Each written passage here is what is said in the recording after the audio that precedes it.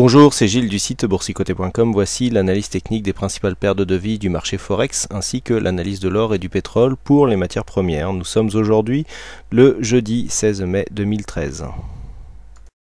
Et nous commençons tout de suite par la paire de devises euro-dollar qui donc depuis sa cassure ici a marqué un point d'arrêt sur cette zone des 1,2935 avant de casser, venir chercher un point bas ici sur les 1,2850 et remonter euh, chercher la moyenne mobile 20 exponentielle. Donc on est toujours ici dans une continuité de phase baissière. On a quasiment testé ici cette zone des 1,2836. Pour l'instant, le mouvement est toujours en cours. Hein. J'en veux pour preuve cette, euh, cette zone de résistance qui est formée par la moyenne mobile 20 exponentielle. Donc la tendance est toujours euh, baissière et nous sommes donc en train d'assister ici à une phase de rebond technique avec ici des indicateurs qui étaient survendus, sortis donc de ces indicateurs qui viennent rechercher un point haut, quasiment ici la zone d'un point bas que nous avions sur les 1,2935. Donc pour l'instant, continuité de la tendance baissière qui serait invalidée sur une cassure un peu plus appuyée ici, la moyenne mobile 20 exponentielle, voire même de cette zone des 1,2942. Sur le câble, la configuration est assez similaire, sauf que après avoir ici confirmé le retracement à 100%, alors là c'est assez clair, hein, le retracement. Vous voyez, nous avions ici cette phase de dynamique. On dit souvent lorsque le 61.8 est cassé, eh bien, il y a une grande probabilité de revenir ici sur le 100%, et eh bien là regardez, cette zone de 100% qui agit, hein, donc qui correspond ici au récent point bas, qui agit vraiment comme une zone de support avec ici ce double contact hein, qui a lieu avant de marquer une phase de rebond. Donc dans ce cas, il convient de retracer ici un retracement de Fibonacci sur la tendance directe, hein, toujours, pour constater que eh bien, cette zone ici euh, des 23,6 a été cassée et donc marque le début d'un euh, rebond technique. On va euh, voilà, supprimer ce retracement pour, pour s'y retrouver un petit peu plus. Donc là, sur, ce, sur cette cassure, eh bien, nous avons ici un objectif sur le 1,5333 qui, qui représente donc le retracement des 38,2%. Il est toujours intéressant d'avoir ici une zone de retracement confondue avec une zone horizontale qui est déjà identifiée. Euh, donc nous sommes ici sur une phase de rebond technique, les indicateurs sont en pleine dynamique. Pour l'instant, le fond de la tendance reste baissier. Si on se place ici dans une vue un peu plus éloignée, eh bien nous pouvons constater que cette sortie fait suite à une ici à une phase haussière qui dont la, dynamique a été cassée. Donc on est vraiment dans une phase de continuité.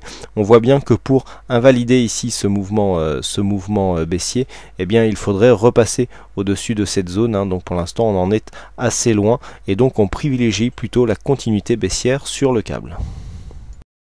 Sur le dollar yen par contre la tendance est bien orientée à la hausse hein, puisque nous avons ici suite à ce contact une recrudescence de cette dynamique qui avait commencé à se tasser. Ici on est revenu chercher la moyenne mobile 20 exponentielle. Ici c'est ce que l'on est, en, train de faire.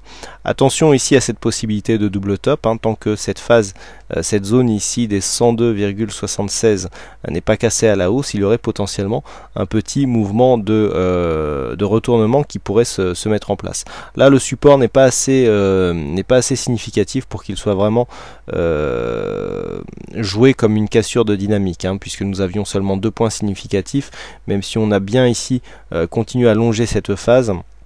il, manque un petit peu de, points, de, points de, définition pour vraiment appuyer cette zone de support. Donc là ici, on reste sur cette phase, donc un support donc sur les 102. Sur une cassure ici un peu plus appuyée des moyennes mobiles 20 exponentielles sur contact ici avec la bande de Bollinger inférieure, on pourra avoir un début d'invalidation. Si on trace un, Fibo sur le mouvement direct, eh bien nous avons ici euh, un 23,6 qui correspond peu ou prou à cette zone, hein, puisque nous avons 101,78 avec une possibilité d'objectif à 101,17 qui était déjà, une zone euh, de support ici significative, hein, qui était légèrement au-dessus ici à 101,27. Donc là, divers points de retracement possibles en cas de cassure ici de cette zone des 101 78 mais bien sûr en cas de cassure des 102 76 eh bien euh, nous aurions une, euh, une validation et donc une continuité un signal de continuité de cette tendance haussière nous continuons avec les matières premières et l'or. Donc l'or qui confirme hein, son mouvement baissier. On l'attendait depuis un bon moment. Bon, cette cassure ici a été, euh, a été confirmé. Hein. donc je rappelle cassure ici, attaque de la bolle inférieure, retour sur moyenne mobile 20 exponentielle. Tout, euh, tout est réuni ici dans ce setup baissier. Donc on n'avait pas réussi à dépasser le 61,8% sur euh, la vue euh, court moyen, moyen terme. Pardon. Donc là, eh bien, nous avions un objectif en cas de cassure des 1403 qui se situait à 1000. Alors on avait 1380. J'ai rajusté un petit peu ce, cette zone ici de support qui correspond mieux à l'objectif euh, à l'objectif euh, un objectif réaliste on va dire. Donc là on a 1366 hein, en objectif. A priori ça semble bien parti. Et donc une cassure de cette zone. Alors pour l'instant on est en train de tester la zone des 23,6 hein, l'ancienne zone des 23,6% de Fibonacci. Je vous avais dit qu'en cas de cassure de ce 23,6 il y avait de grosses probabilités de venir casser ici cette zone des 1321 donc en cas de 1300 et eh bien 1321 on, aurait largement la latitude de, de, casser la zone des 1300 hein, zone psychologique. Et donc de d'aller de, continuer sur ce mouvement baissier donc qui était euh, qui a été impulsé ici par cette forte dynamique. Donc je rappelle retracement à 61,8 et donc là on est en train de confirmer la tendance de fond. Sur une vue un peu plus court terme il y a un rebond technique hein, qui est en train de se, de se mettre en place, euh, c'est clair, on a, une, on a une légère divergence hein, qui apparaît ici sur le, sur le très court terme, donc certainement ici un excès qui devrait être corrigé euh, en direction par exemple des 1403 euh, dollars l'once, hein, c'est tout, à fait, c'est tout à fait envisageable et pourquoi pas un contact ici avec la moyenne mobile 20 exponentielle. Donc L'or toujours en tendance baissière, euh, les niveaux d'invalidation sont tellement hauts qu'on n'en parle même pas pour l'instant. On attend de voir ici euh, le début de ce rebond technique euh, qui nous permettrait peut-être de tracer ici un, rebond un, retracement de Fibonacci pour nous indiquer, de, enfin pour nous aider à mesurer justement la puissance de ce rebond. Et enfin on termine avec le WTI, avec donc cette cassure qui est en train d'être confirmée, puisque nous avons ici cassure de cette dynamique, inscription d'un nouveau plus bas, hein, puisqu'on casse ici ce point bas significatif, rebond technique hein, qui avait été détecté ici, euh, avec une, légère survente et un retournement du MACD.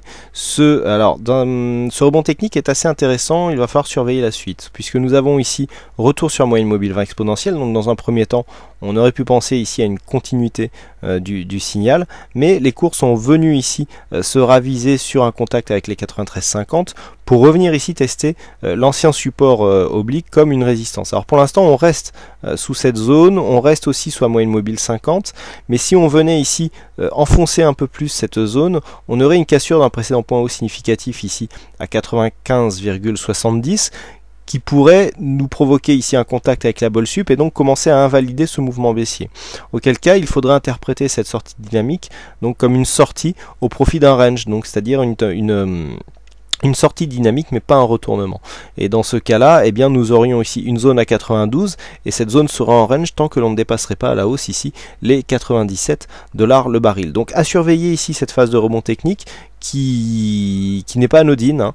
Il faut euh, donc il faut surveiller les points de contact tels que je viens de vous les euh, expliquer. Naturellement, ici une cassure des 93-20 nous donnera un premier signal de continuité de tendance et avec une confirmation, euh, je dirais totale, sur une cassure des 92 dollars le baril.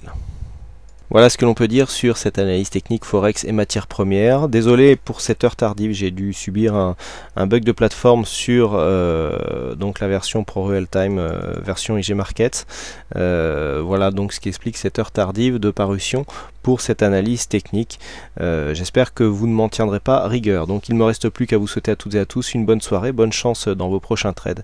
Et on se donne rendez-vous donc dès demain pour d'autres analyses techniques en vidéo. Bonsoir à tous.